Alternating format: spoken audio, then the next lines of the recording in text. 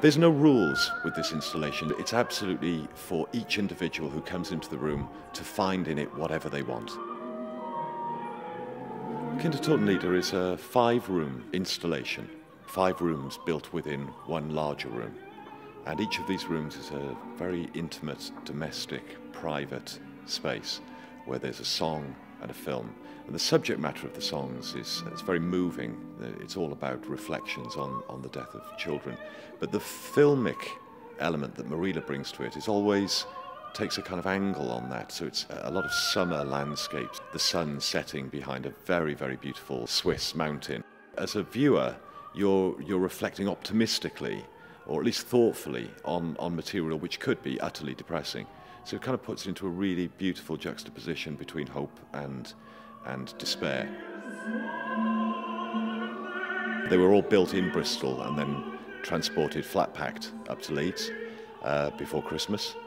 And then it took about a week to, uh, in a kind of an IKEA-like way, to get them out of their boxes, screw them all together, and then the real business begins. I suppose it starts very, very big, um, you know, lots of hammering and sawing, and then as you get further down the process, everything gets tinier and tinier until you're adjusting just the very tiniest little angles on a projector and the angle of a, of a speaker so that the sound is just so.